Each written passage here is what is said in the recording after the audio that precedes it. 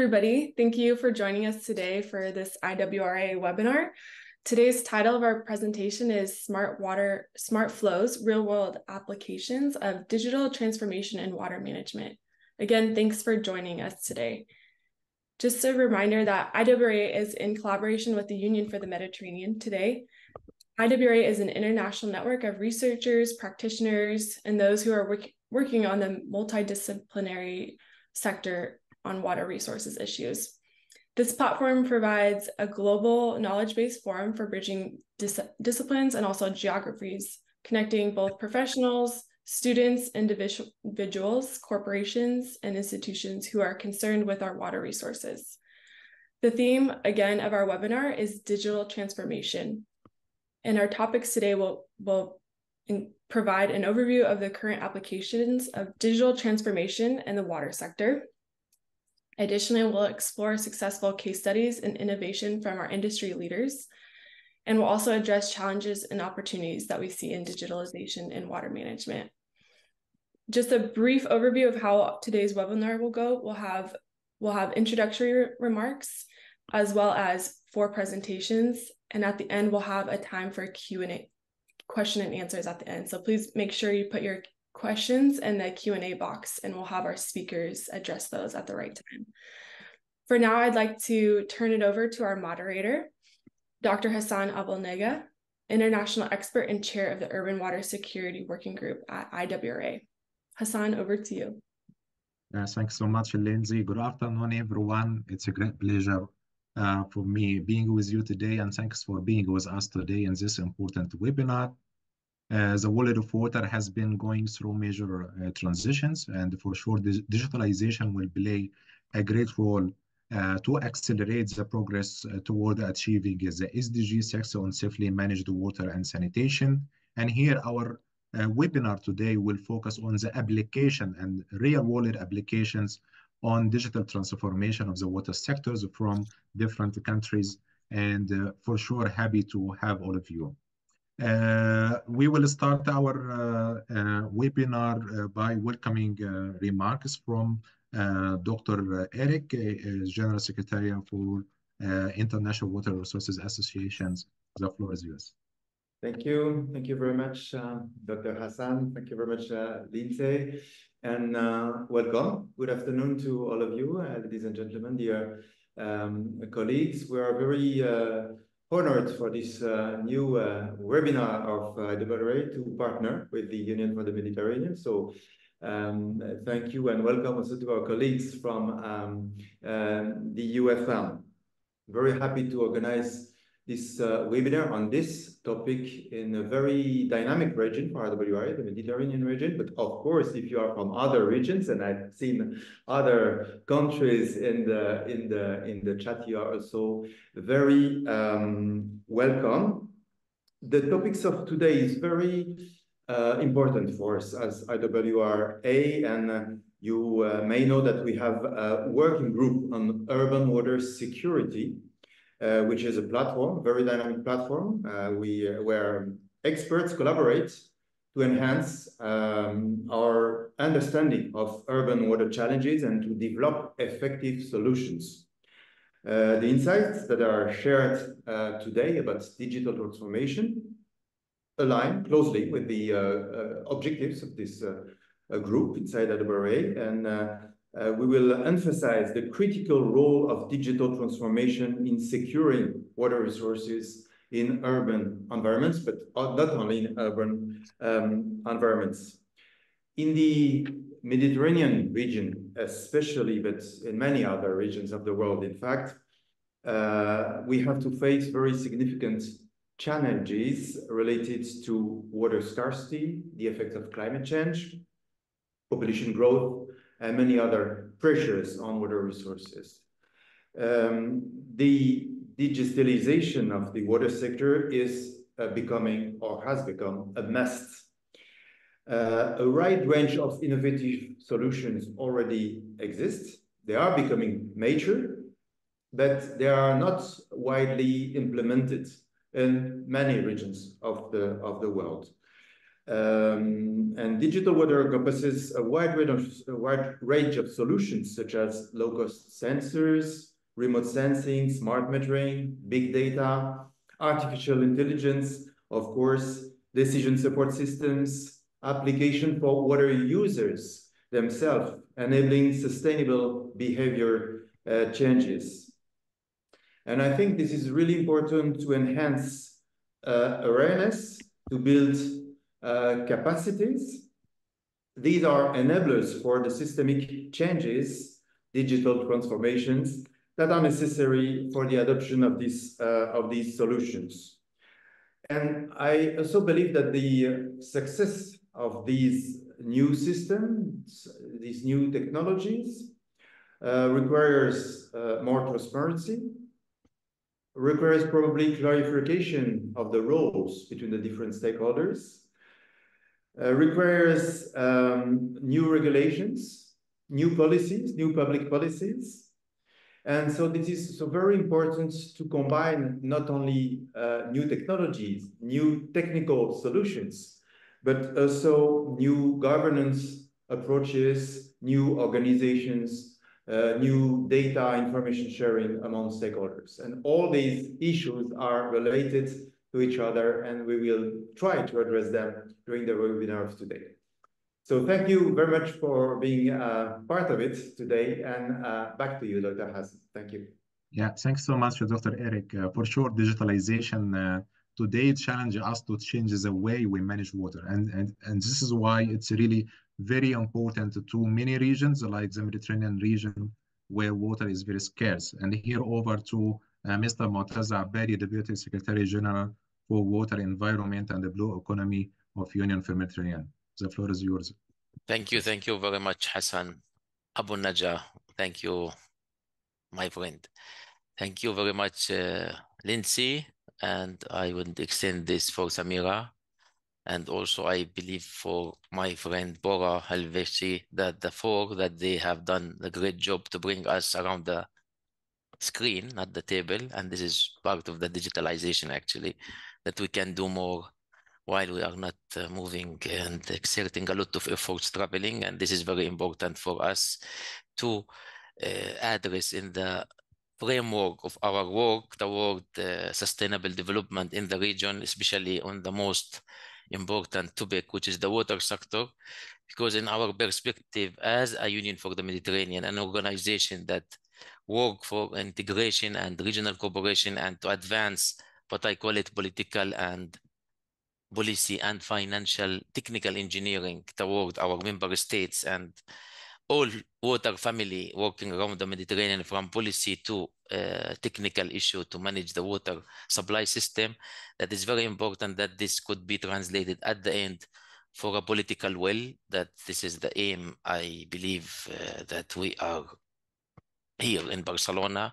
And this is why, as an example, my country, Palestine, is part of this Union for the Mediterranean. We don't believe that our member states, they lack capacity to somehow to advance technical solution, but what is missing is to make sure that these technical solution, when they are successful to be translated and transferred to other, this is part of our work. And this is what we call it, doing more by exerting less. Less here is less financial resources and less uh, human resources because we really face an era of a lot of insufficiency in terms of resources. And this has come to the subject why the Union for the Mediterranean start to be uh, shedding light on the digital transformation in water management in the Mediterranean. First of all, to respect our ministerial declaration on the water that had been approved 2017 and still the political umbrella for these 43 member states, where the ministers call upon us to work on innovation, technology, and also to make sure that data is available for all. And then we have another uh, political umbrella to follow, which is the new agenda for the European Union. They call it the new agenda of EU for the Mediterranean, where its fifth pillar was the digital transformation in all different sectors. And this especially came after the pandemic. And when it comes to the issues that we are tackling as a human being that believe in cooperation, in the Mediterranean, we don't want to do things just because we wanted to have our agenda busy. Our utmost objective is to uh, respond to these challenges that we are facing. And you know all these challenges from biodiversity loss to environment degradation to climate change. And the three challenges, they are being uh, translated into our region in many things, but two that they can be seen very uh, obviously. One of them is that we are in short sleep in North Europe in November, December, and sometimes we need a lot of jackets in the south of the Mediterranean in uh, February, April, where we have really a severe temperature change, which is not temperature high or loss.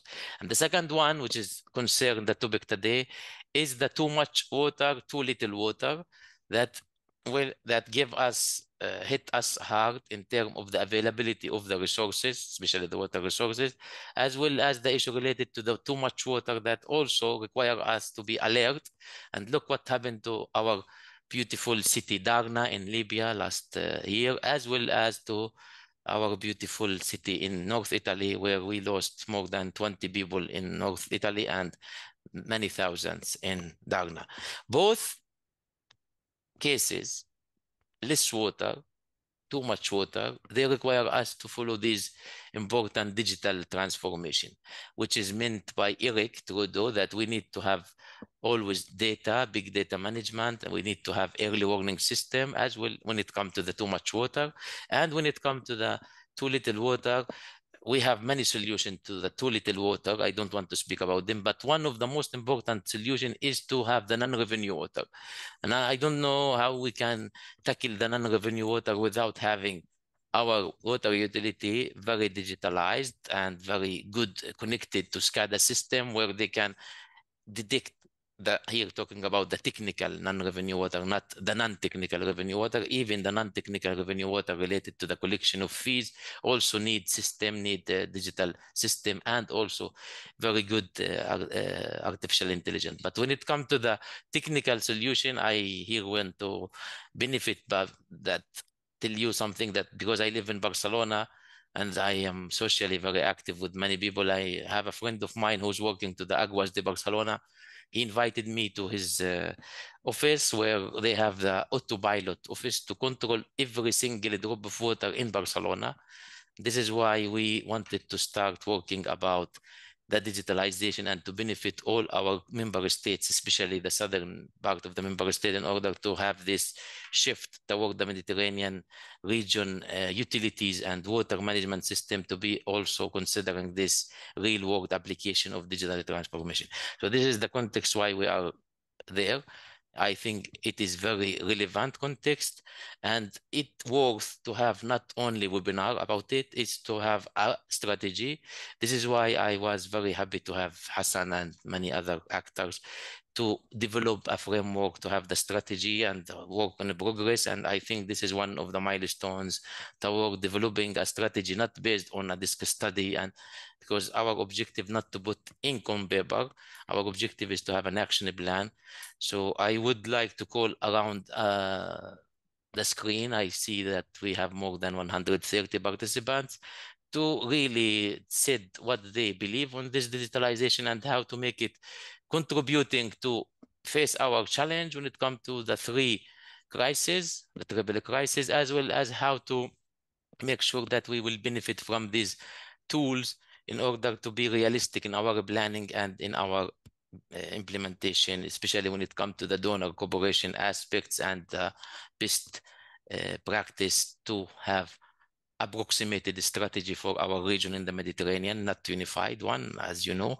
So with this, I would like to thank you very much, and we will be keep hearing you. So please be active to cooperate and to give us ideas to criticize and to uh, give us uh, what is really needed. I am not going to write them down. Hassan will do, and I think also Lindsay will do, Samira. Thank you.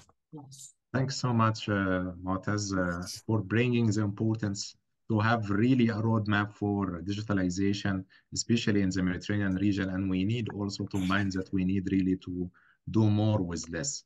This is uh, really very important for us and leads us to the next speaker, uh, uh, Ms. Samira Shabban, the policy expert and Union for Mediterranean, to tell us more about that in uh, at UFM. The floor is yours, Samira. Thank you. Thank you, Hassan. Uh, good evening. Uh, good, good afternoon, everybody. Good evening to some. Good morning to some.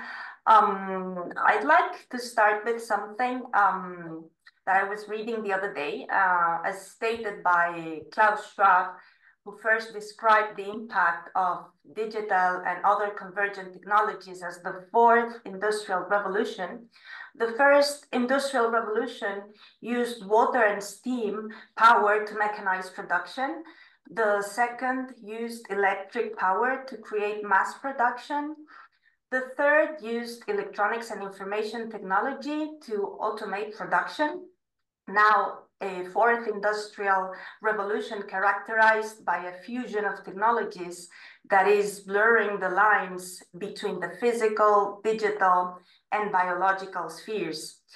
And the Mediterranean region, with all its countries and the different levels of technological progress, is at the very heart of this transformation, similar to other parts of the world. Um, the level of preparedness to this impressive transformation depends on the infrastructure capacity, its preparedness, of course, uh, the technological progress achieved, but also on how policies and regulatory frameworks accompany this change, how able we are to share knowledge and create room and possibilities for capacity building and engaging in international partnerships. My name is Samira Shabban, and I work in the Union for the Mediterranean as a project manager within uh, the Water, Environment, and Blue Economy Division. Um, the Union for the Mediterranean is an intergovernmental organization working as a platform for dialogue and cooperation. And it is also a multi multilateral partnership that brings together 43 Euro-Mediterranean member states um, with a view to increasing the potential for regional integration and cohesion. So from this perspective of our work of the regional dialogue uh, on policy that we foster within the Union for the Mediterranean, the meetings that we've held in, uh, in the last two years, for example, with our member states and, and also other stakeholders, which fall under the regional platform on water, those meetings made it clear during discussions with member countries that digitalization was a topic that the UFM water agenda should tackle. Um, country participants suggested uh, those meetings to enhance the regional agenda on water by tackling issues brought about by COVID-19, in particular digitalization and digitalization when it comes to water access, sanitation, and hygiene. Indeed, uh, digital technologies are key enablers to achieve the modernization needed. And today, the Mediterranean faces major challenges to achieve the desired level of sustainability in uh, the man management of water systems. Mm, increasing water demands increasing water demands coupled with climate change are major contributors to the great imbalance between the supply and demand of water resources. The Union for the Mediterranean wants to contribute to the development of digitalization in uh, water management in the Mediterranean. That's why uh, we held on uh, 5th, 5th of December last year first webinar hosted by, by the UFM, the first online UFM conference on digital transformation of the water sector in the Mediterranean, with the objective to bring together stakeholders, experts, and policymakers to explore the current state of digitalization in the water sector, its potential benefits, challenges, and its transformative impact in the Mediterranean region. The event uh, also served as a platform for co-designing policy recommendations to accelerate digital transformation. And um, also, as a matter of fact, there was a survey, uh, some polls that attendants were asked to, to reply.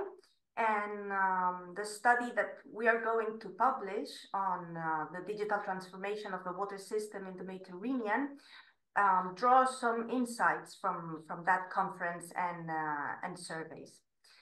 That conference, um, well, and this one, this conference also served as a first step for a roadmap towards digitalization of the water sector in the Mediterranean region. As uh, I was saying earlier, our member states deem it essential to formulate some um, effective strategies to achieve sustainable development goals and uh, address pressing water-related issues in, in the region.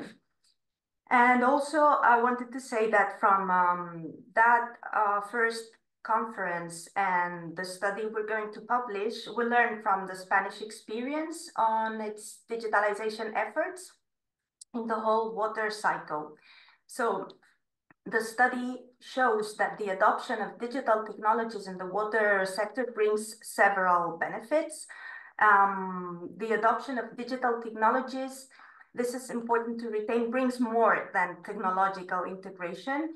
There is value potential uh, from the application of digital technologies like uh, increased operational efficiency with optimizing water utilities processes, water conservation, the ability to mitigate water losses through early detection, enhanced resource management, since digitalization plays a pivotal role in optimizing the allocation and use of water resources, and uh, also an improved climate resilience through predictive analysis and modeling, which enable authorities to anticipate and respond to shifts in water availability. And most importantly, digitalization fosters a paradigm shift towards sustainable water use practices.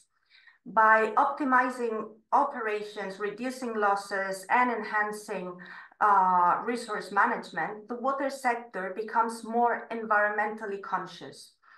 Mm -hmm. Sustainable water use is not only an intrinsic goal, but also a crucial component of broader environmental conservation efforts. Digital technologies facilitate the alignment of water management practices with the principles of ecological sustainability. So I think, uh, let yeah. me finalize this. Also, I wanted to mention that um, national plans on digitalization of the water sector can also help boost employment opportunities. Something we learned from the Spanish experience is that um, one of the focus areas of their plan is to generate approximately 3,500 highly skilled technical jobs in fields related to water management, including engineer, water science, and technology. So to finalize, I'd like to say that on this journey towards digitalization, developing a roadmap for the effective uh, digital transformation of the water sector will be very important in the Mediterranean region such a roadmap can give the basis over which recommendations showcasing best practices, technological advancements, new institutional frameworks, information dissemination, the promotion, community engagement and awareness, all this can happen under the umbrella of a roadmap for the effective digital transformation of the water sector in the Mediterranean. So I will finish here. Thank you. Yeah, thanks so much, uh, Samira, for really making uh, really the case for digitalizations and benefits for uh, for it for our water sector and also beyond the, the sector itself. And uh, this is brings us to also uh, to interact also with the audience, as Mu'taz said that we need also to hear from our audience. Uh, uh, please also share your initiatives, your projects, if you are, if you know any projects working on digitalization. And uh, we have also prepared for you Uh, some questions that could be shared with you. Uh, Lindsay, maybe you can share the first question. And this brings us to really look on the implementation and also the applications that we can see uh, uh from, uh, for sure, industry leaders. And here, let me introduce to you the first presentation for Mr. Bora. He is a sustainability and digitalization professionals at Siemens. He will present uh, digitalization and their also work on on this matter. The floor is yours, Bora. Go ahead. Thank you very much, Hassan, and thank you uh, for the previous speakers to set the scene. Let me share my screen and start the presentation, and I hope you can see. So, um, my name is Bora Helvaci. I am part of Siemens Digital Industries, uh, responsible for water and wastewater, um, uh, and uh, for the Mediterranean region and also Middle East. Basically, I'm located in Middle East, and United Arab Emirates for 15 years, and um, I've been through many different commercial roles with different entities and uh, working with utilities and energy and water utilities more than 15 years. So today, I'm going to talk about digital transformation on water networks, how we are seeing it, and uh, giving you a short overview uh, about our water application suite.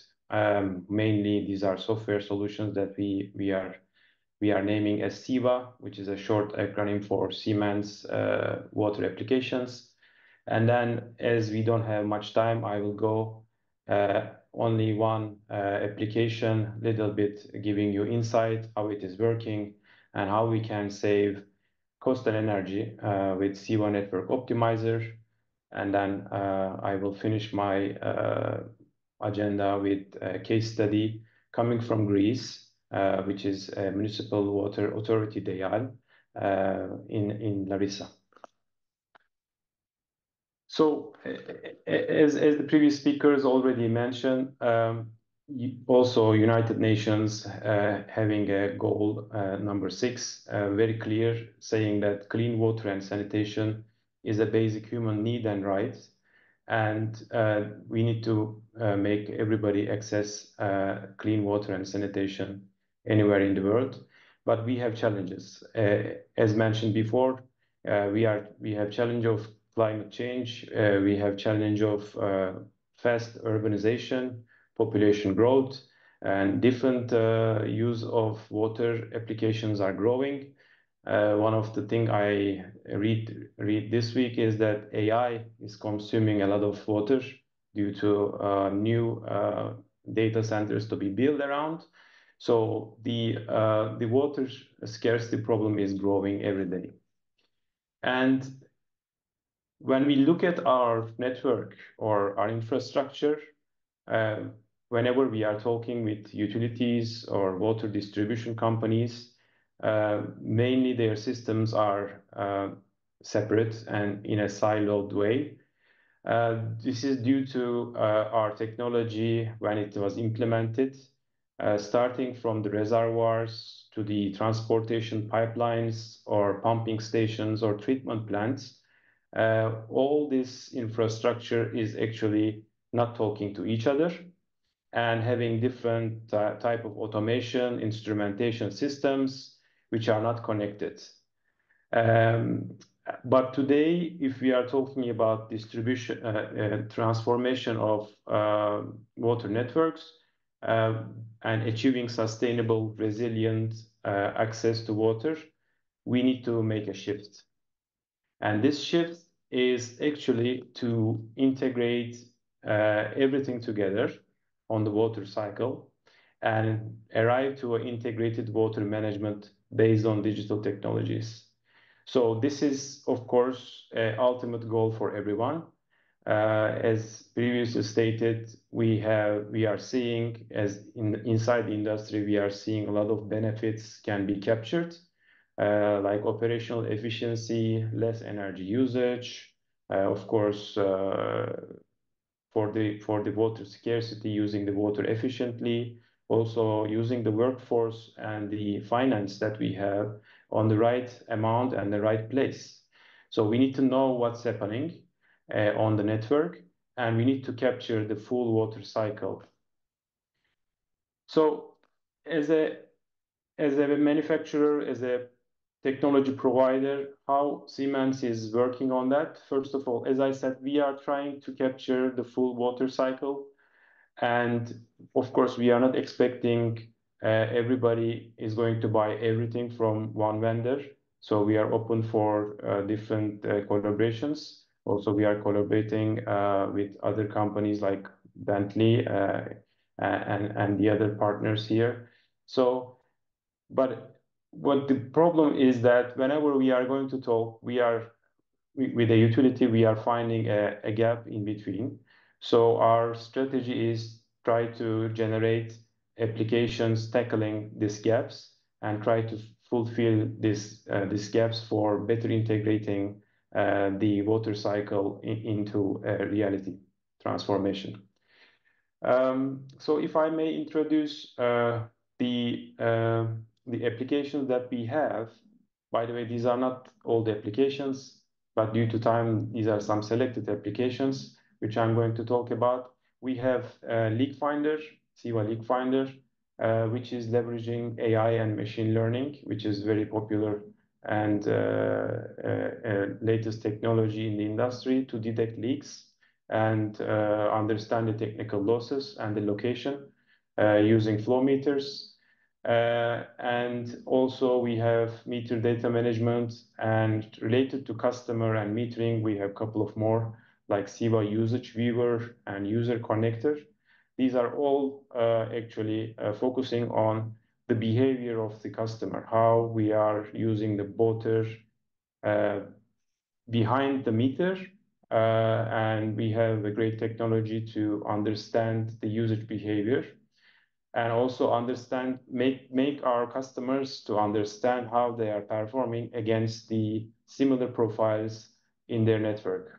If they are performing better uh, according to their neighbor, of course, they are good. But if they are performing less or not efficiently in their neighborhood, they can check their bill or this information, and maybe they can check their uh, infrastructure at home, and they can find the leaks Uh, or other uh, high usage uh, areas to rectify. So these are very important to connect network and customer because it's not it's a collaborative effort. And usually transformation is is not a project, it's like a journey. And I will explain this in the last slide with the case study also. Also, we are we are working on sewerage and uh, Sewer Optimizer is one of our products. We are also working on the stormwater management, uh, as it is rightly said by uh, Mr. Almotaz.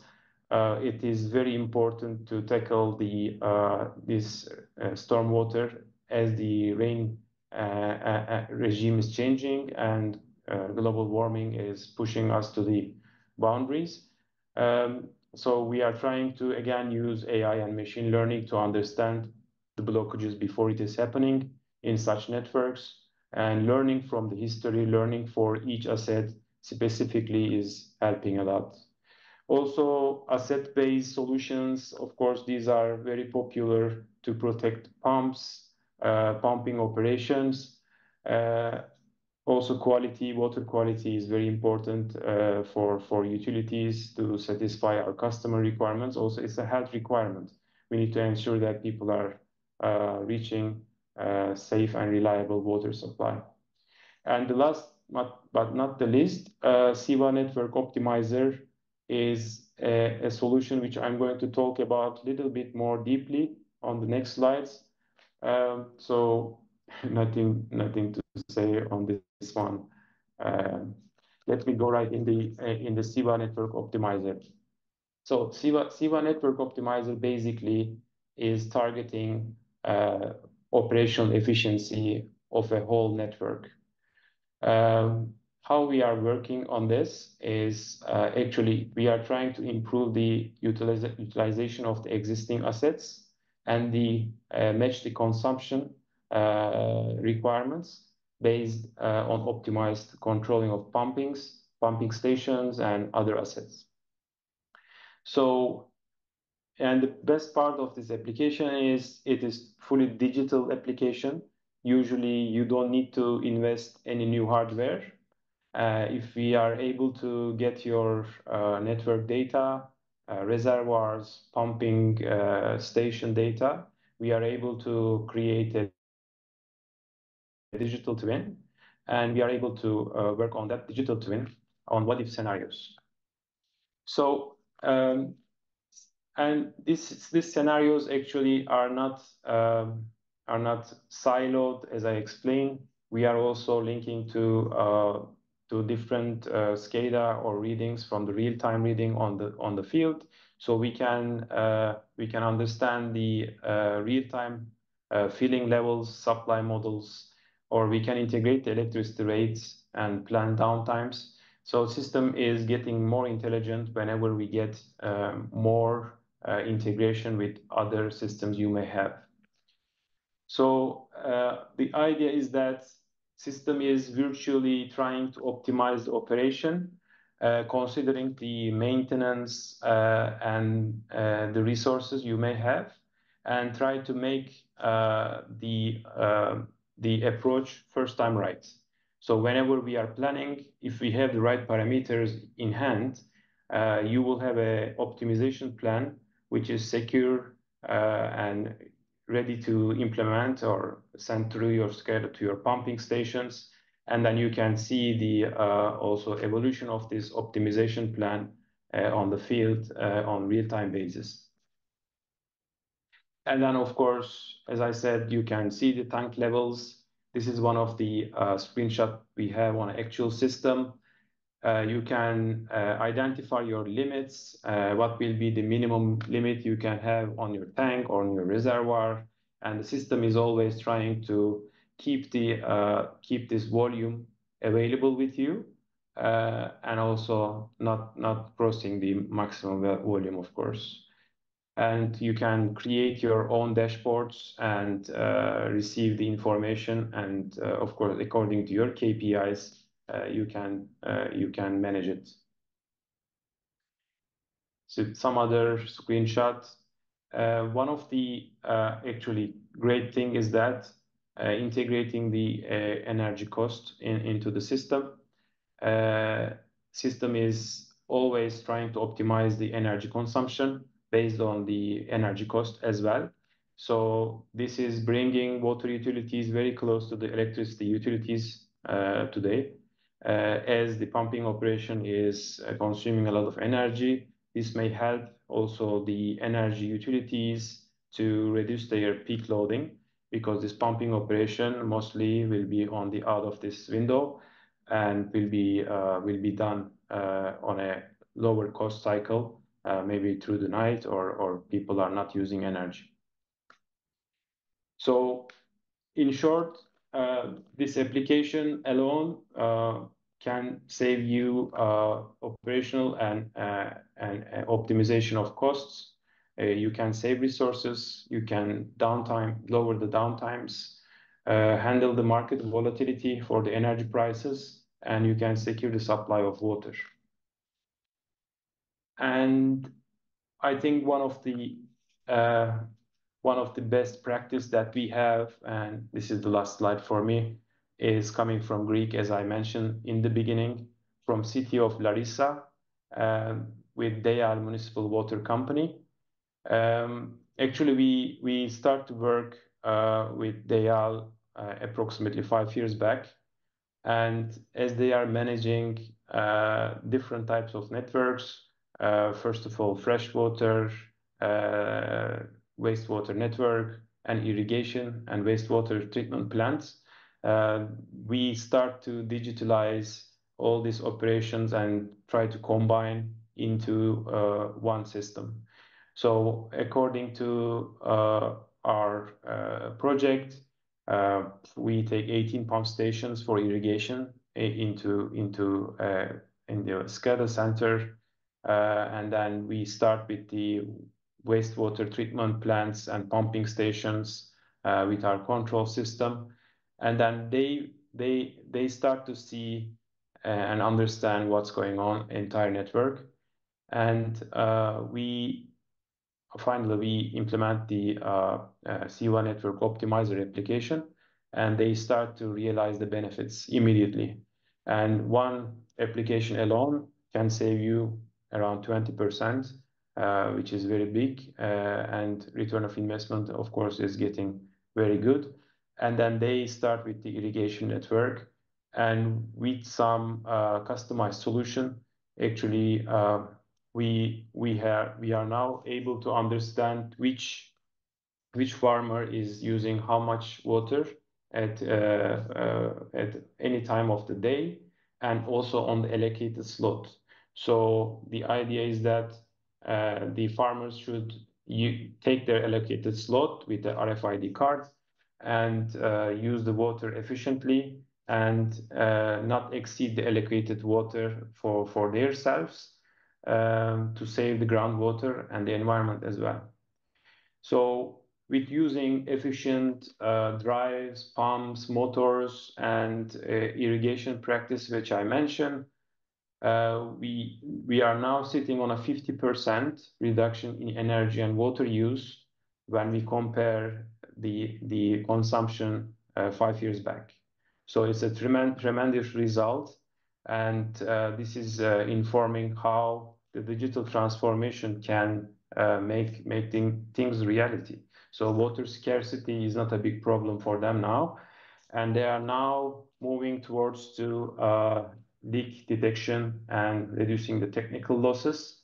Uh, and it's a journey. It's not a project. They start with digitizing their networks, collecting the information, uh, and then implementing smart applications on top. And then they are targeting one by one what they want to achieve. Uh, and this journey continues. So I believe this is this is a very good example of it, um, and it's a Mediterranean reference. That is the end of my presentation, and this is my contact details.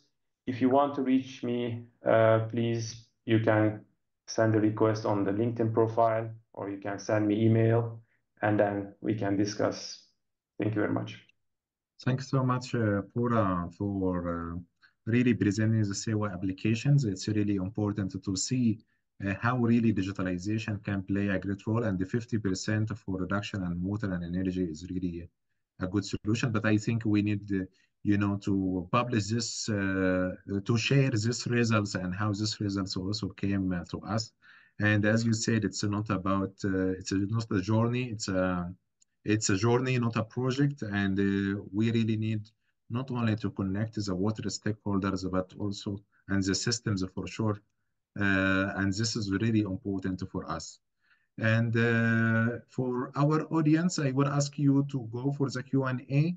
Uh, if you have any questions for uh, Bora, and for sure we will have discussions after the presentations. And we have also the poll questions for those who uh, haven't replied yet to the poll questions. Please answer the, the questions. We will present the results at the end. Uh, and uh, without further ado, I uh, we would like to hear the next speaker, Mr. Uh, Slavko. He is the Industry Sales Director at Bentley for Water and uh, Wastewater Solutions. Uh, the floor is yours, uh. Thank you, Hassan. Uh, good afternoon, good morning, and good evening, fellow water professionals. My presentation will be also showing some case studies of the digital technologies around the world and focus on urban water management, as, as the title expresses. First of all, my name is Slavko. I'm working for Bentley Systems. Bentley Systems is the engineering software company. We are delivering software solutions for designing, planning, designing, construction, and operating any type of infrastructure, including water, wastewater, and stormwater infrastructure as well. So um, many of the colleagues, I mean, Eric mentioned, Almotaz mentioned, Hassan, Samira, I'm not going to repeat all of this. So there are a lot of pressing issues in water and climate change definitely with the extra rainfall information and also extra dry periods is accelerating this. So there is a lot to do and especially in the urban water environment. So one of where the, the digital technologies, digital twins, digital models, including AI, recent developments of large language models as well, can help is basically in this type of uh, efficiencies. So first of all, um, reduction of non-revenue water. The previous speaker already mentioned that, that this is one of the key topics because if you want to tackle the water scarcity in Mediterranean, in semi-arid regions, we need to fix the leaks before constructing any type of desalination plants, which are expensive, or any new reservoirs. We need really to improve efficiency of what we have.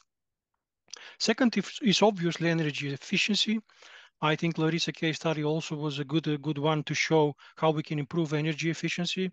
You know the prices of uh, electricity at the moment and the gas they tripled throughout the, the couple of years. So 30% of the operational cost basically of any water companies is about energy. And needless to say, energy is co connected to CO2 footprint and other greenhouse gases as well. So that is hand in hand. I will explain a little bit uh, uh, case study from Rotterdam here, how they tackle the problem of CO2 emissions as well. A reduc reduction of service interruptions, of course, we would like to deliver safe and secure and resilient water infrastructure to our customers, reduction of operational costs, and finally, we need tools how to plan our capital investments for the future. Master planning, of course, learning from data, using simulation models or a digital twins, I call them, which connects various data sources such that we can make a better decision where to invest our money for the future because water security is an important topic. In terms of solutions, Bentley has a lot of technology. I'm not going to, to dwell into the technologies, but just remember, obviously, for the urban water networks, potable water networks, but also irrigation networks under pressure, we have a digital twin which is called WaterSight. Um, for the urban sewer and also the storm drainage networks, sometimes they're combined, sometimes they are separated, obviously. We try to separate them. Remember, we have SewerSight, which is a digital twin which utilizes modeling, data-driven techniques, and also forecasting and AI technologies. Finally, for the water treatment plants, wastewater treatment plants, and desal plants, we have PlantSight, which is zooming into the 3D environment of the plant monitoring various biological and chemical parameters and also forecasting those parameters in terms of inflows into the receiving um, water. And recently, just a couple of months ago, related to water scarcity and water resources on a catchment scale, we, we launched a new monitoring solution, which is called dam monitoring. So any type of dams, you know, there are more than 300,000 dams in the world, which are large dams, which contributes towards water supply, only needless to say, energy generation as well. So we need to monitor those dams in terms of stability.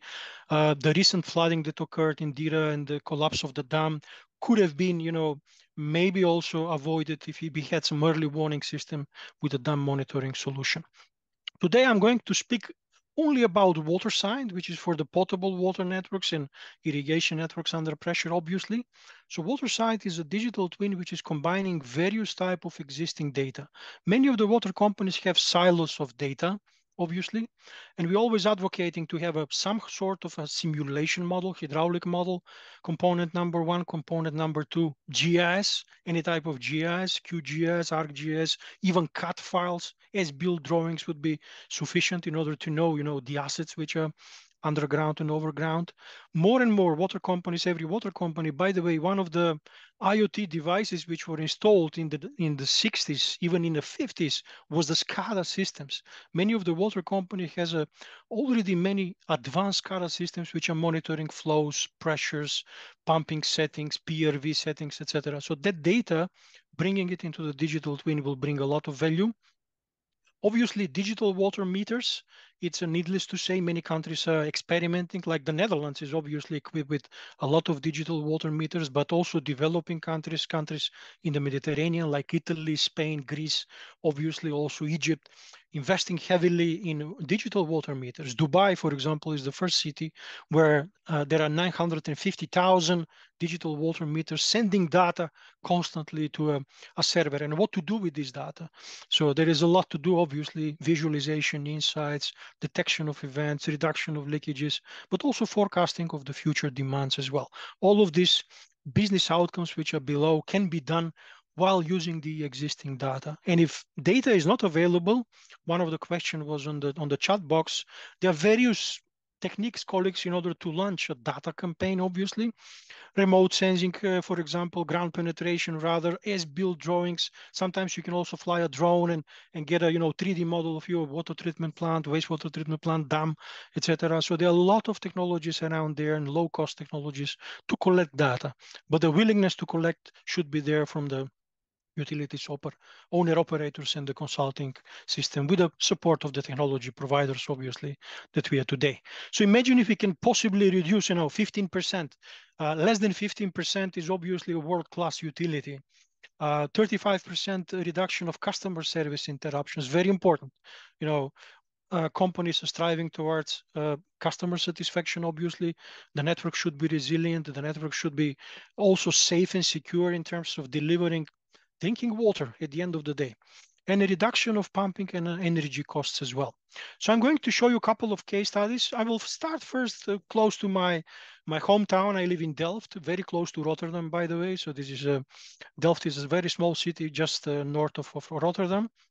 This is the city of Rotterdam and Evides Water Company is uh, advancing in terms of carbon neutrality. They put a very aggressive plan in till 2025, basically next year, in order to be carbon neutral in terms of operations. So they utilized hydraulic model, WaterGEMS from Bentley, together with a digital twin, which is called WaterSight, which is a real-time system which is showing what is happening into the network and also optimizing the pumps throughout the PLCs, optimizing the pumping uh, curves, optimizing the you know the best efficiency points, etc. And you can see only for one treatment facility, which is in Kralingen, they they managed to sell around 300,000 euro annually. Imagine if you can now they're implementing it for the complete network, which is two and a half million customers in Rotterdam. This can be a potential up to five million of savings annually uh, while doing that, they're also reducing the carbon CO2 emissions because you know that the pumping station is using electricity from, I don't know, from a coal plant or a gas plant, or they're using renewable electricity at this point in time. So you can couple that with the pumping efficiencies as well.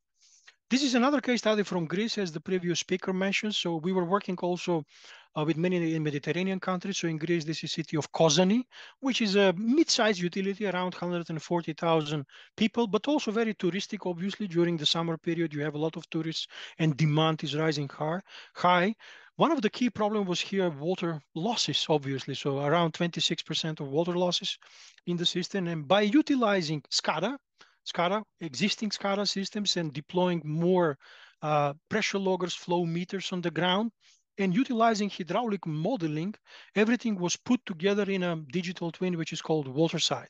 So you can see in the trend, the long-term trend of diminishing the, the flow in the in the complete central zone by 20% and also time to repair so it's a possible possibility to uh, identify leaks to identify events automatically by patterns by statistical analysis tools machine learning and artificial intelligence. And uh, while event is identified the operational team saved you know 50% in the repair time.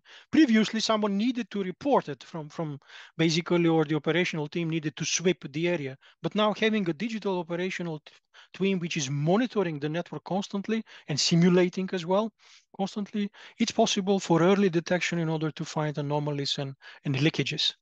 Um, this is one of the case studies where we have the complete urban cycle covered. So potable water, receiving water, which is the wastewater together with the storm water, and finally, after the wastewater treatment plant, uh, plants basically the water is released of course city of porto with the beaches very touristic area and complete simulation models together with real-time digital twins were implemented in city of porto. This is our flagship product where the complete urban water cycle is monitored.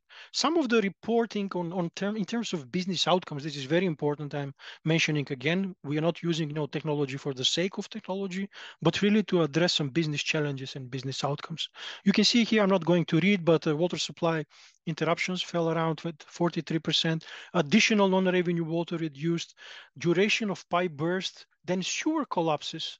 Sewer collapses because the sewer collapses were there because of blockages, because of, of course, soil subsidence, groundwater, storm, which is coming, uh, rainfall, etc. So sewer collapses were managed to improve by 44%.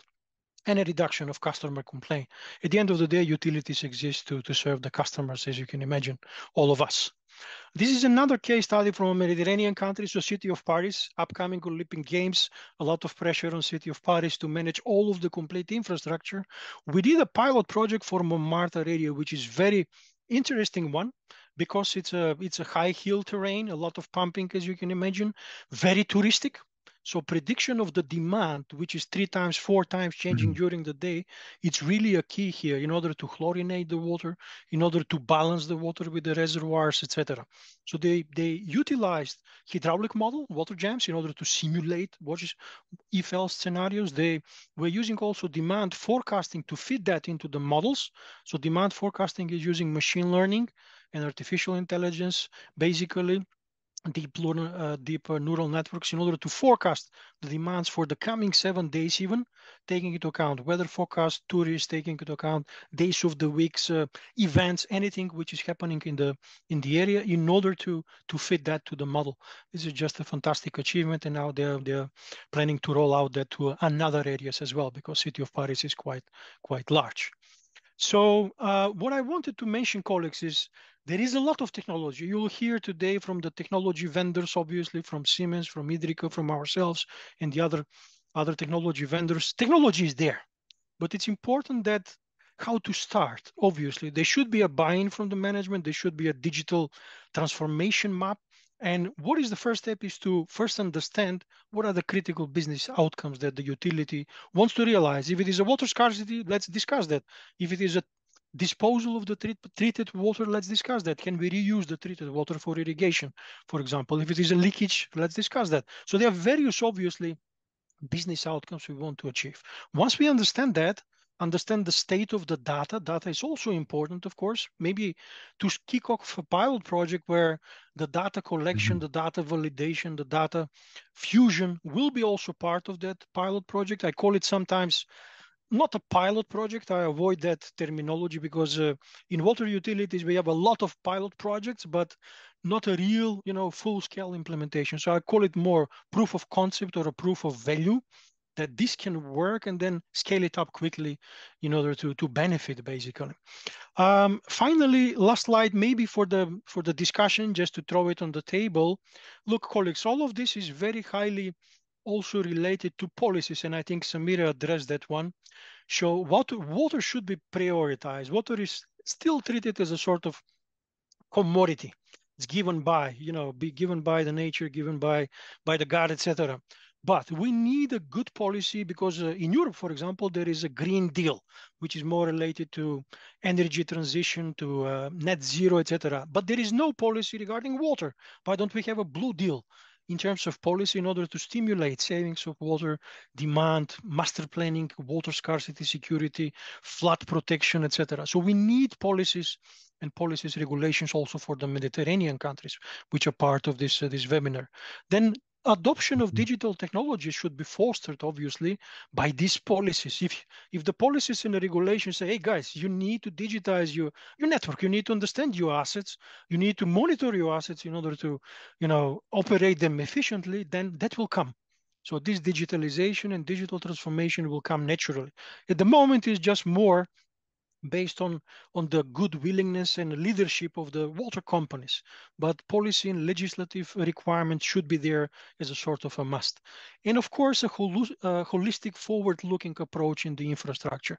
We are talking about water infrastructure here, but needless to, to talk about the environment, water resources in the catchment area. So more holistic approach is definitely needed.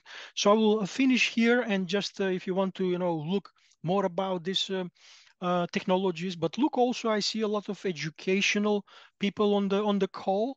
If you're interested if you're a university student research organization there is a free website bentley-education.com so go there. You can also download and use some of these software technologies free of charge if it is for non-profit uh, uh, purposes as well. So thank you and okay. hassan over to you. Yeah thanks so much Slaviko. it's really important to see these applications in many uh, Uh, countries. And as you said, it's really important to have really a roadmap with uh, really concrete KPIs for digitalization so that it would guide all water stakeholders. And for sure, uh, what you have presented in terms of uh, really uh, what can digitalization play a great role on water and carbon or water energy carbon nexus. It's really important for uh, the nexus agenda. Uh, without further ado, I uh, give the floor to the next speaker, Lylian. She's the Development Director, AgroParisTech SUEZ, that share Water for All general management of water and sanitation services. Lylian, the floor is yours. Thank you. Thank you, and for this opportunity for putting the Academy in the center of the discussion. So important. Could you see the slides very well or? Yes, please make it in presentation mode. Uh, yes, I want. So I just did it. It's okay? Yes, okay, go ahead. Okay, perfect. So thank you again. And then the, to start that you are started talking about the issues and the, the solution with digitalization, but we needed to focus that water um, or the collective, non-collective sanitation is often left behind with the, the, the digitalization process. And that it could be something that you could be and uh, improve more than ever this sector. Then to keep this in mind during my presentation, that uh, the most important is always uh, to start with women. Uh, people can change the world. And then if you talk about digitalization, you need to talk about the people. And then the master water for all, I show some of the graduates that you have from the promotion 21 and 22 under the Dr. Leticia Obenga, a 23, 24 now with Dr. Sylvain Usher, the mentors of this team, that will be the future leaders in Africa, in Asia. And then it's important to link it uh, that because since 2009, we started training the manager, more than 200 man manager from 54 countries and four continents. And that is why that the, the goal in the digitalization management, the leadership, the development uh, is in the excellence of the center in the South. And uh, the chair, Water for All, I'm Lylian Coelho, as you say, that as development director, wanted to uh, bring to you uh, this discussion that you needed to focus and uh, uh, to bring in more partners to develop all kind of management that could improve uh, the system. And then we start with uh, our partners in the beginning, but you are grown so much. And then we have, you are so proud to highlight that Hydropolis La Valette is uh, now uh, the, the, the first campus that were launched two months ago in Montpellier. And you are part also of a GO, then um, uh, and the AgroParisTech is ground and with the center of the south. Um, the, the learning parts uh, and the knowledge needed to be shared. And then you have this opportunity with the master. You have a lot of master in uh, MBA, but for the public, for the utilities, we needed to improve the data. And that is the link with the academy to find the jobs and put the right competences that you need for the people and link it together the classes about digitalization and the platform e-learning uh, and the network, alumni, and the, uh, the tools to, uh, to catalogize the indicator from different countries is essential to moving and the academy. But let's start imagine the future, the future of a city with all kind of treatments and then what you can do you can, in the desalination plants, you can, uh, with artificial intelligence, driving optimization in the desalination membrane system. You can personalize the customer service. You can, uh, the real-time water network management, integrating uh, with the net network and the meters, and automatically sewer network monitoring with the real-time response uh, to rainfall events. That is the meteorological that a lot of you is starting doing. And then just to see the potential about the intelligence and the artificial intelligence, the digitalization management in a city with all treatments. But the, as academic, as managers, the first thing we needed to have the good questions and then not go uh, to improve your uh, company, your utility, just to say, I want data, data, and data, more data. Uh, that's you uh, sometimes could uh, think that you will uh, be faster, but if you need to anticipate, you need to go for the, the good question, to planify, and the, the relay, the utility, the water utility, you only want uh, the digitalization if they uh, anticipate, they organize. Then we, we presented for, uh, to our alumni and to our uh, managers that start doing the good question. Do you collect the right data? Do you know really what your users and anticipate the future of your users? I saw a lot of speakers before me that talk about it, that how is important to anticipate what you happen with your users before the application of, of a data management.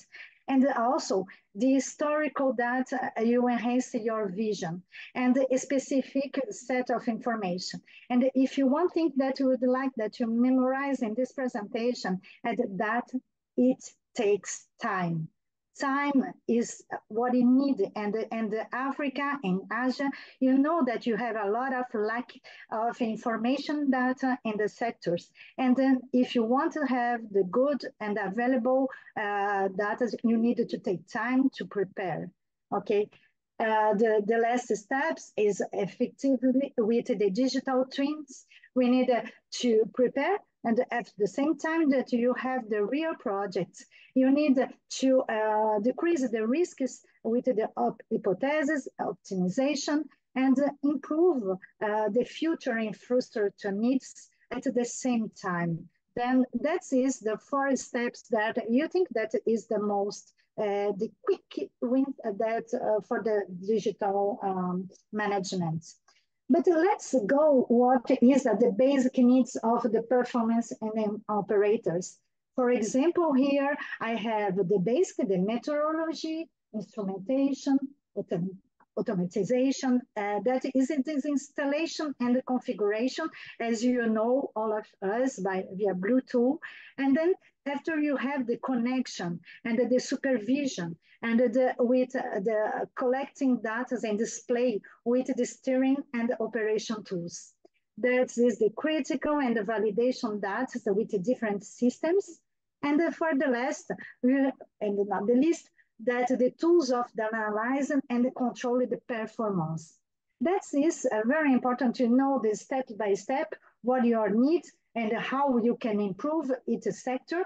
It's with captures, it's collecting data, it's to pay the performance. But the mission always is to control, to optimize, to give safety, the security of the data, and share usable, usable data.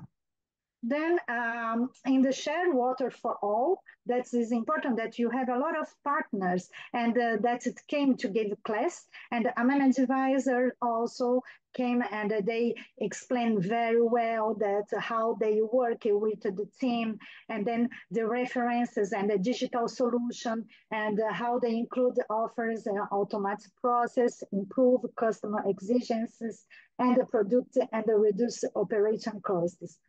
Um, and then uh, in the beginning of this presentation, we talk about no revenue water. And that is a very important point because the most of the 200 managers that came to the Water for All chair, uh, uh, they have other issues, but the most important issues is the no revenue water. And then I think that data needed to be linked to solve this issue, technical or commercial. Another uh, partner that came into the share and used the machine learning and the uses cases that uh, to improve the water infrastructures, uh, the water demand, to anticipate to financial service, to the social media, to warehouse, uh, and then that is the GIS. That's we needed to disseminate good practices and not stay with one only one solution. Uh, I, I, appreciate a lot of this kind of presentation when you uh, the asset advanced that the plan, the renew of the assets then you mapping the state of the network and facilitate access of data. We improving inspection and maintenance uh, strategies. Uh, you obtain a clear vision of the future. You anticipate the impact of values and optimize the investments. That's what you are trying to do until now. And the, last year, with the man manager from the share, you make some uh, tracks immersion. They stay uh, one month in a country, and we went to Senegal. And in Senegal, they learn a lot of Seno, and the Seno innovations, that what they did, they put the company and the digitalization methods, and then uh, they, the customers uh, have now connected uh, directly with the service, uh, the digitalization about operations, the interventions, inventory planning digital, digitalization. They have barcodes and with uh, uh, smartphones and drinking water network also connect. That is a case study to see the how in Africa you can also improve and improve. This example also of one connect just to put also like you have, you have the tools, uh, smart tools, you need to transfer, to collect data, and always to have a good user in the end for our service, our clients, or our suppliers. And the, the system is scalable, that is open for any issues. And then how I didn't bring it today, a lot of information about the smart cities in Africa and Asia, the most student that you have inside the chair, I would like to outline the most important thing about the obstacles that you cannot have the smart cities uh, integrated in the South. The first thing is the question to improve our human resources and organization more than technology. The second one is require the constant energy service. You uh, need Lylian, to... can you wrap up in one minute, please? Okay, sure. That is the last slide. That is the slide that is 24 hours seven, and to have the advanced incorporate the culture inside the the the corporate, and it bring innovation, innovation and uh, operation department working together and out of the water sector. I thank you so much for the time and uh, the team from the Water for All chair is here and you can have uh, uh answer your questions in the few minutes. Thank you yeah. so much. Thanks so much, Lylian, for your uh, great presentation. Uh, I think it's really now uh, very important to see. We have seen uh, many examples, but we we see also uh, some uh, great transformations that we see in Spain, and this is uh, leads us to the next speaker, uh, Mr. Jorge. He is a business development manager at Idrica to present to us the solutions that has been implementing in Valencia and Spain. The floor is yours, Jorge. So thank you. Can you hear me? Okay. Yes, I can hear yes. you and I see yes. your presentation. Uh, thank you to the International Water Resource Association and the Union of the Mediterranean. Uh, thank you, Hassan, and welcome everyone. Um, and thank you for attending this presentation. Uh, my name is Jorge Helmbrecht. I'm Business Development Director at, at, at Idrica, and I work in engineering companies in a uh, also in, in a water agency, being responsible for the management of water resources, and during the last 15 years in digital transformation on the water cycle. And I will uh, be talking uh, today about the experience of Idrica and the digital transformation process of the water sector, and more specifically to, by telling you a great success uh, story with our product Xylem Vue powered by GoAigua.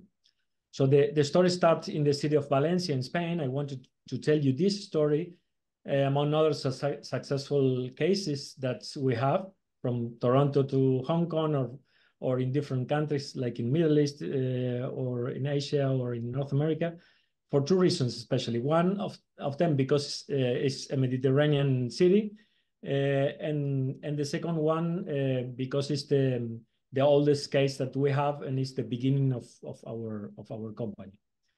Um, so um, this is the the results of this the transformation process, and it is a Global Omnium is a leading company, uh, leading water utility in Europe at a technological level with more than 130 years old, uh, leading uh, with uh, more than 400 municipalities. And the digital transformation process began in 2005 where uh, we had some uh, problems, water scarcity, the cost of uh, water treatment, um, also the information silos, as my colleagues uh, were telling. This generational gap also, it was uh, very important. And then after uh, these 15 years, the result of the transformation of the digital transformation of, of a water utility was the creation of a new technology uh, called GoAigua, and uh, also a new company called Idrica, where I'm, I'm now working. This, this company uh, has uh, the technologies as service and technology provider for the water cycle. And we said always that this is a technology by utilities for utilities because uh, we are coming from a, from a utility and from our results of the digital transformation process. So this digital transformation process starts with the development of different applications for uh, specific use cases. And it was a step forward, um, but uh, the problem was that uh, um, at the end we have different uh, applications, but uh, it, it were different isolated use cases and, and data management. So we said that at the end we built, after some years, uh, like a digital Frankenstein, then with this experience, many years ago, we decided, okay, this is, we have, we solved some problems, but I, what we have uh, many silos. Um, and so we need to develop a data-centric architecture um, for this platform. So the, the, um, the way uh, was to develop this data-centric uh, architecture where, where all data received is standardized with the system and can be used by the different applications that solve different use cases for the water uh, cycle. And something important is was not to replace the system because we had many different utilities and, and cities, and every utility had has its own uh, GIS model and and things like that. So it was very important to integrate all the, the information. So our platform has uh, different modules for water, solving problems like uh, leakage, non-revenue water, asset management, and so on. For wastewater, like plants or networks related. Also for agriculture and irrigation. And finally, we have a, a, an area or modules for water resources. So supporting resource management in river basins and real-time monitoring for extreme events. So for every of these uh, sector, we have different modules that you can see in our webpage. But at the end, um, the product who was called GoAigua from January from this uh, from last year, sorry, uh, is called Xylem Vue Power by GoAigua because uh, Idrica partnered with uh, Xylem, a worldwide company with uh, with uh, presence in more than 150 countries. So we unified all our technology and, por and portfolio. And uh, I will talk specifically among all these cases and modules about the, digital twin for uh, drinking water, okay? Uh, in this case, I, uh, we can say, okay, what is the definition of, of, uh, uh, of a dig digital twin? I think Slavko and my colleagues were explaining more or less what is. Um, and, but the most important is that at the end is a virtual representation of a physical product, process, or service. And we need to say, okay, what are the main components for that digital twin? We have a data-centric platform that integrates and concentrates all information coming from the real world, like GIS information, sensors, SCADA, providing a lot of data on the uh, hydraulic performance of the system. We have also a hydraulic model to simulate the behavior in real time of the network. And we have also advanced analytics using AI and machine learning.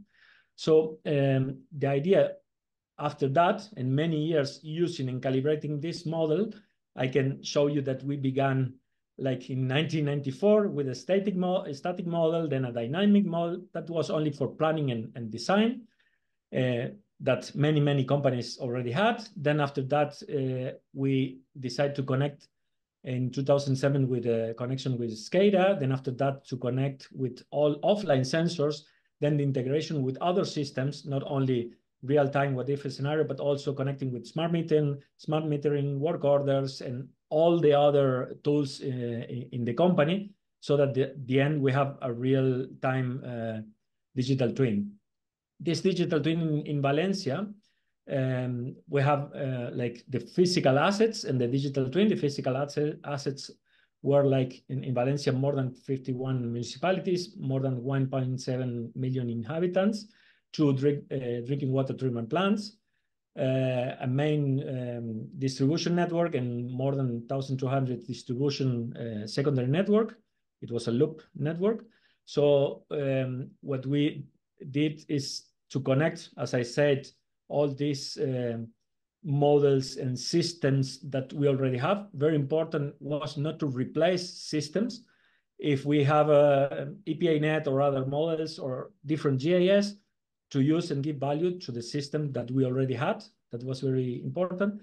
So now what we have is a hydraulic model connected in real time. We can uh, perform in the past, present in real time, every minute running the hydraulic model, and in the future run different scenarios and uh, feeded by more than two, uh, 20,000 daily readings and 400,000 smart meters giving one hour uh, connect, um, data uh, every hour. And so we have more than 10,000 virtual uh, sensors in, in the network. And we can know all the variables in, in every junction of the, of the platform. So the applications and benefits um, of the platform, as I said, we had like two different stages of the platform. At the beginning, before to connecting and having a real digital twin, uh, the application benefits of a planning tool like optimal network design. Uh, this is already known since many years ago, like contingency planning and so on. You you can see you can see here. Sorry, was my phone. You can see here um, the uh, how it looks like uh, the the digital twin and different um, issues or, or applications like non-revenue reduction, maintenance scheduling, or define the behavior of new, of new infrastructures. Uh, and also something very important is the application benefits for the daily operation. And that was um, very interesting during the last year, all the lessons that we learned in Valencia, because this is a real digital twin running since many years. And because the first thing was the operators. At the beginning, the lesson was the older operators need to run and use the system in order to trust them. And they see, okay, this system will not replace me. This system will help me. This is very important. And after that, it was used uh, and is still using for uh, training new operators, also for detecting hidden failures and anomalies. For example, for performing analysis, for example, I want to close this valve or I, I want to do a maintenance uh, works in some area. So I will uh, simulate this and show what happens if I have all the pressures okay and so on. So, and for future simulations, we have also this eh, very important, the early response to emergencies. Also, we have a module related to water quality monitoring and the water age. This is also very useful to, to look in every point of the network. And also in order to help for leak location and, and energy optimization that all my colleagues were mentioning, this is also very, very important. And at the end is a decision support system in order to take better decision, but based on data. Um, some results, and I uh, I hope I will be at time on time. Uh, some results in, in Valencia, uh, some KPIs obtained during the last years were more than four uh, cubic hectometers uh, saved annually, 18% uh, of non-revenue reduction. We need to take into account it was a very technological water utility, so that the reduction is um, um, very amazing. Uh, also, uh, 19% in reduction in maintenance cost, and and the the reduction of the complaint was very important because we could see uh, all the time when before someone calls in the telephone with all the sensors and the digital twins see very have early alarms of all the behavior of the of the network. Please, Jorge, if you can wrap up. Yeah, this is the wrap-up, and something very important to remark, just to end, is that uh, the software and technology, as my colleague said, is very important, but we also but also it's very important to select and use the right tools and uh, at the right moment, and feed it by data with enough quality, and uh, with trained teams that take the value from the technology. So- Yeah... in Idrica, what we offer is our platform, but also our experience coming from our utility to develop this digital transformation transformation journey, and later to use and detect the problems using the the technology. So, uh, Yeah... please, anyone who has questions, uh, you can find me here or uh, in LinkedIn. Thank you very much. Thanks so much, thanks so much, Jorge, for your great presentation. It shows us really a great work and really benefits from digitalization. And this is brings us, you know, to Uh, the final of our webinar. But before we uh, we end the webinar, we share some results, and also I could ask all the speakers, starting from Jorge, if you could give uh, one key message when it comes to implementing digital transformation in in the water sector. Just to give Uh, some uh, uh, results on on that. So we see that are major challenges when it comes to adequate infrastructure, financial resources, but also there are many aspects for benefits for from digital twin in terms of asset visualization and predictive analysis and future needs planning.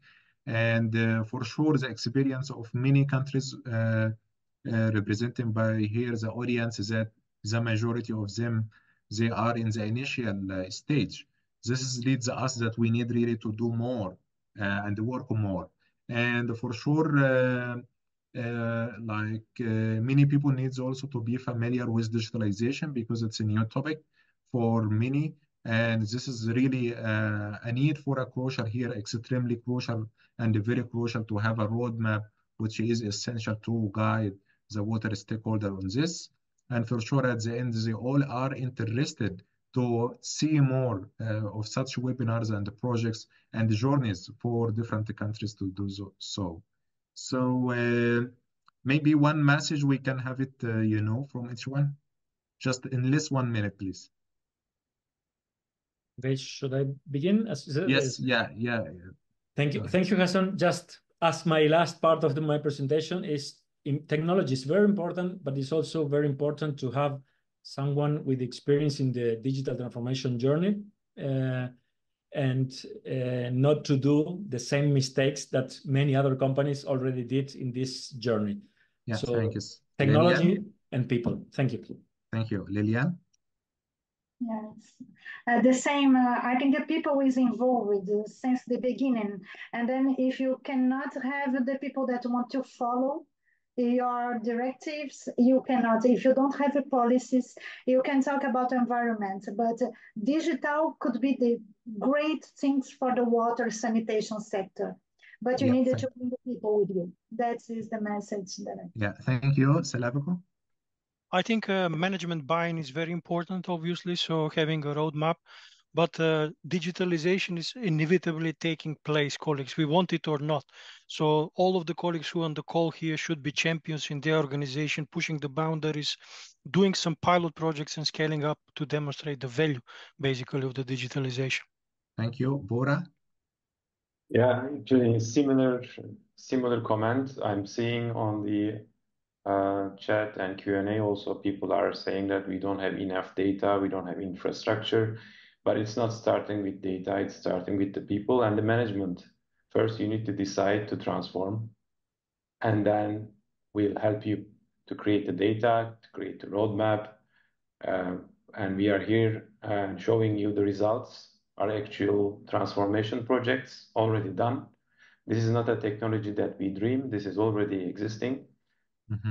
And the first step is decision taking, I think. Thanks so much, Bora, and thanks so much, uh, everyone. And this, uh, for sure, will be delivered to UFM and also IWRA to work with this. Uh, for sure, uh, please follow uh, UFM and IWRA on this matter because we will do more in this uh, regard. And last but not least, I thank everyone for being with us. over to you, Lindsay, for final announcement on the webinar. And thanks so much, everyone. Thank you, Hassan, and thank you to each of our speakers for joining us today. Um, we had 150, more than 150 participants today, and we had a, quite an active uh, Q&A box. So thank you for your engagement and your conversation. If you would like to continue that conversation, um, please join us on on our LinkedIn page where you can ask more questions. Also, I will be posting the recorded pr presentation as well as the individual speaker presentations on our website.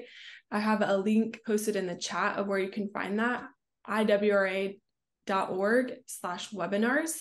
Again, those will be posted within a week of time so you can access the presentations, the recording, and a summary. Additionally, IWRA has a few more ways to get involved. I've also posted those in the chat. Those include becoming a member or joining one of our task forces, which was discussed here. Hassan is a part of the Urban Water Security Group. We have many more to join. Additionally, we have a few more events coming up. We have a World Water Day webinar that I will also be hosting coming soon in March. And be on the lookout for our first Islands Water Congress. There's details also in the chat where you can uh, submit an abstract and be involved there. Again, thanks, thank you all for joining us today. Thanks so much. Bye bye. Thank you. Bye bye. Bye bye. Bye bye. Bye bye. Thank you.